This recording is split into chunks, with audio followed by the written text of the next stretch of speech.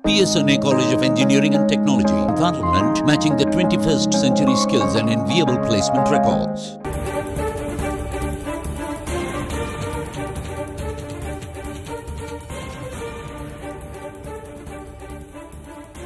தமிழகத்தில் கேரளா ஸ்டோரி படத்தை திரையிட்ட திரையரங்குகள் தாக்கப்பட்டது குறித்து பதிலளிக்க தமிழக அரசுக்கு உச்சநீதிமன்றம் உத்தரவு பிறப்பித்திருக்கிறது அண்மை செய்தியாக பார்க்கிறோம் மேற்குவங்க மாநிலத்தில் கேரளா ஸ்டோரி திரைப்படம் தடை செய்யப்பட்டது ஏன் என்றும் உச்சநீதிமன்ற தலைமை நீதிபதி கேள்வி எழுப்பியிருக்கிறார். விவரங்களுடன் செய்தியாளர் நிரஞ்சன் குமார் இணைந்திருக்கிறார். விவரம் என்ன நிரஞ்சன்? ஆனந்தி இந்த கேரளா ஸ்டோரி திரைப்படம் சர்ச்சையாகி இருக்கக்கூடிய சூழலில் சம்பந்தப்பட்ட கேரளா மாநில அரசு கூட வெறும் எதிர்ப்பு பதிவு செய்ததோடு நிறுத்திவிட்டார்கள் ஆனால் மேற்கு மேற்குவங்க மாநில அரசானது இந்த திரைப்படத்தை தடை விதித்தது. சட்டம் ஒழுங்கு பிரச்சனை ஏற்படுவதற்கான வாய்ப்பு இருக்கிறது என கூறி இந்த திரைப்படத்தை தடை செய்திருந்த நிலையில் அதற்கு எதிராக திரைப்படத்தின் தயாரிப்பாளர் சார்பாக உச்சநீதிமன்றத்தில் மனு தாக்கல் செய்யப்பட்டது. இந்த மனுவை விசாரித்த உச்சநீதிமன்ற தலைமை நீதிபதி அஹ், இன்றைய தினம் மேற்குவங்க மேற்கு வங்க மாநில அரசுக்கு நோட்டீஸ் பிறப்பித்திருக்கிறார் இந்தியாவில் தான் உங்களது மேற்கு வங்க மாநில அரசும் இருக்கிறது. அப்படி இருக்கும் பொழுது மற்ற இடங்களில் இந்த திரைப்படம் அஹ், வெற்றிகரமாக அஹ், மற்ற இடங்களில் இந்த திரைப்படம் ஓடிக்கொண்டிருக்கும் பொழுது மேற்கு மாநிலத்தில் மட்டும் எதற்காக இதனை தடை செய்தீர்கள் என்ற ஒரு கேள்வியை எழுப்பி அதற்கான விளக்கத்தை அளிக்குமாறு தற்பொழுது நோட்டீஸ் பிறப்பிக்கப்பட்டிருக்கிறது. தமிழ்நாட்டை பொறுத்தவரை அரசு தடை விதிக்கவில்லை. ஆனால் திரையரங்குகள் இந்த திரைப்படத்தை தாங்களாகவே திரையிடப் போவதில்லை என்று முடிவெடுத்திருந்தார்கள். முதலில் சில காட்சிகள் ஓடிய போது சில திரையரங்குகளில் தாக்குதல் நடத்தப்பட்டதாக தகவல்கள் எல்லாம் வந்தது.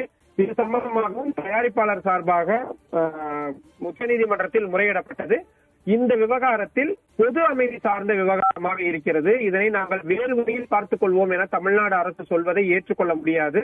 தற்பொழுது என்ன நிலைமை இருக்கிறது? தாக்கப்பட்டது உண்மைதானா? போன்ற விவரங்கள் எல்லாம் பிரமாதமாக தாக்கல் செய்யுங்கள் என்று தமிழ்நாடு அரசுக்கு உச்சநீதிமன்ற தலைமை நீதிபதி நோட்டீஸ் பிறப்பித்திருக்கிறார். வழக்கின் விசாரணையானது ஒத்திவைக்கப்பட்டிருக்கிறது. இந்த இரண்டு அரசுகளும்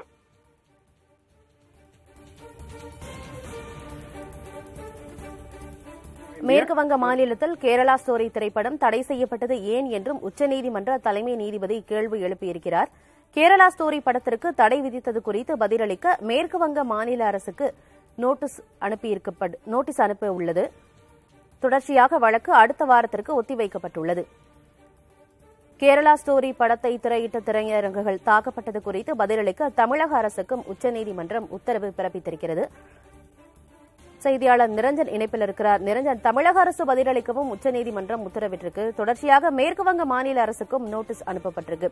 மேற்கு வங்க மாநிலத்தில் இந்த படத்திற்கு ஏன் தடை விதிக்கப்பட்டது? அவர்கள் தரப்பிலிருந்து உச்சநீதிமன்றத்தில் என்ன வாதம் முன் வச்சாங்க மேற்கு வங்க மாநில அரசை பொறுத்தவரை இந்த திரைப்படம் திரையிடப்பட்டால் சட்டம் ஒழுங்கு பிரச்சனை என்பது ஏற்படும். ஏனென்றால் சர்ச்சைக்குரிய ஒரு விவகாரத்தை அவர்கள் திரைப்படமாக எடுத்திருக்கிறார்கள்.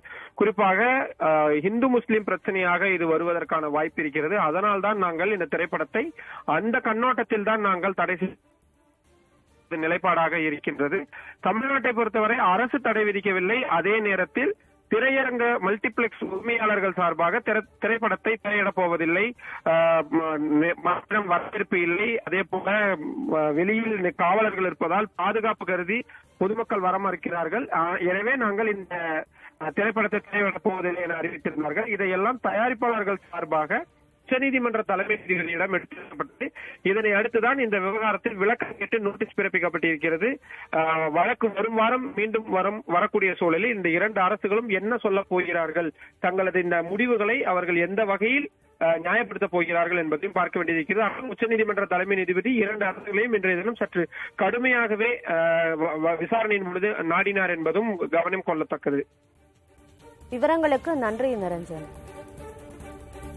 PSNA College of Engineering and Technology, Parliament, matching the 21st century skills and enviable placement records.